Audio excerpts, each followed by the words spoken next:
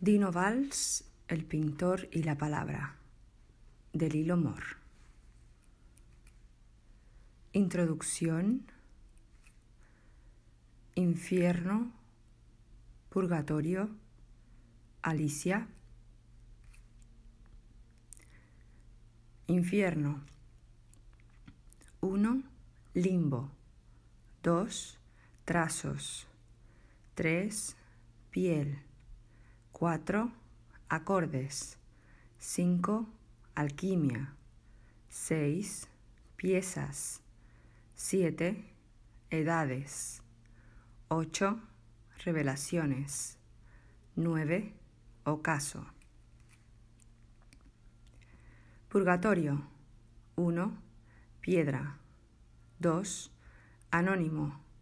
3. Medicina. 4 funciones. 5. Balanza. 6. Oasis. Alicia. 1. Transmutación. 2.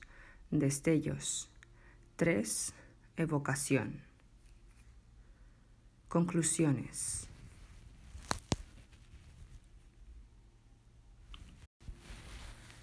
Dino Valls, el pintor y la palabra. Por Lilo Mor. A Dino y a Alicia, a Gabriel y a Guillermo, a mis padres y a mis abuelos, a toda mi familia, a Cristian.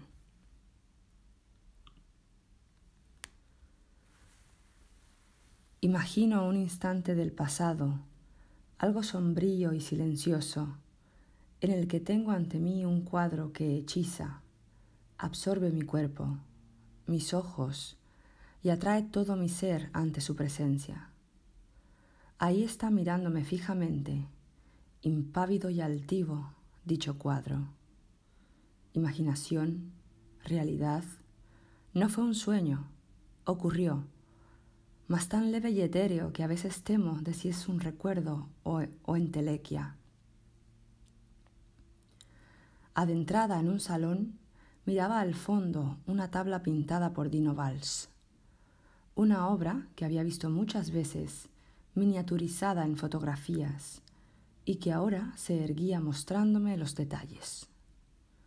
Su título es Ad Inferos, creada en el 2004. Del cuadro llamaron mi atención sobremanera unas letras escritas en la cinta de tela que virtualmente estrangulaba las caderas desnudas de una, de una joven. Los versos retumbaron en mi pecho y sospechaba que procedían de la comedia dantesca. Pero el temor a equivocarme selló mis labios y no alegué comentario al respecto. Enmudecí dando riendas sueltas a mi mente, pensando, anhelando recordar, sopesando sin que nadie lo notase llegué a la conclusión de que esas letras nunca las habría leído sin tener el cuadro real delante, a milímetros de mi nariz. Entendí que por mucho que hubiera visto las pinturas de Valls en revistas, libros o en cualquier otra clase de documentos, nunca habría podido saber los secretos y conjuros que el artista había formulado con los códigos de la escritura comprendí lo desconocidas que eran todavía sus obras para mí y para muchos. Ante la imposibilidad de leer los textos que el artífice había venido citando y colocando, formando un símil conceptual con las escenas recreadas en sus cuadros. Pintor, ¿qué escribes en el lienzo? le preguntó, le pregunté.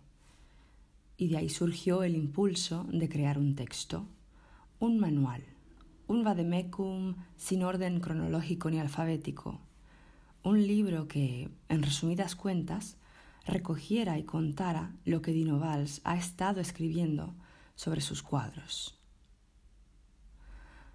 Sin la ayuda del artista habría sido imposible recoger toda la información necesaria, la cantidad de obras que contenían textos, eh, la identificación o la posición en el cuadro de los mismos, o también la fuente de donde los había extraído.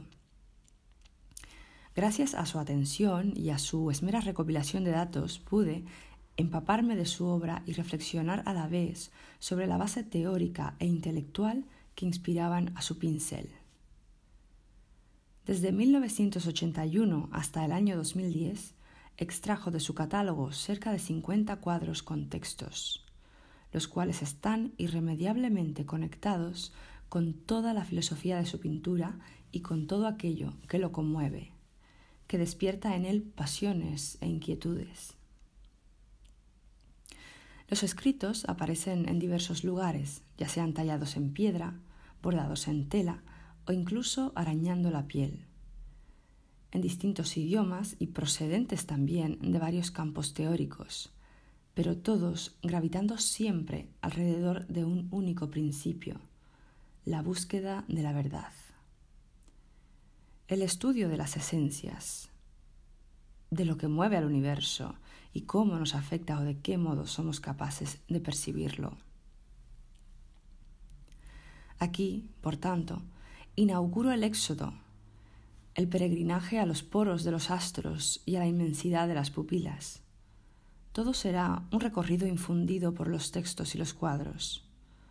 Oiremos historias en boca de personajes pintados, enfrentaremos a literatos con el bullicio de los músicos y las creencias de un científico. Las visiones del pintor hallarán, de ese modo, equilibrio entre pactos y desavenencias. Las obras se exhibirán en un orden de aparente casualidad, en busca de respuestas a esa pregunta ya formulada. Vagaremos cual Virgilio y Dante por caminos cilíndricos y en espiral. Husmearemos las maravillas y los espejos con pisadas de gigante o con imperceptibles pasos. Veremos a monstruos, torturados, a sabios y a locos. Esto será no más que un viaje al interior de Vals, un paseo a sus recuerdos, por los laberintos que dibujan sus neuronas y por la marea de sus latidos. Allí, sin embargo, no sabremos mucho de él, pero sí de nosotros.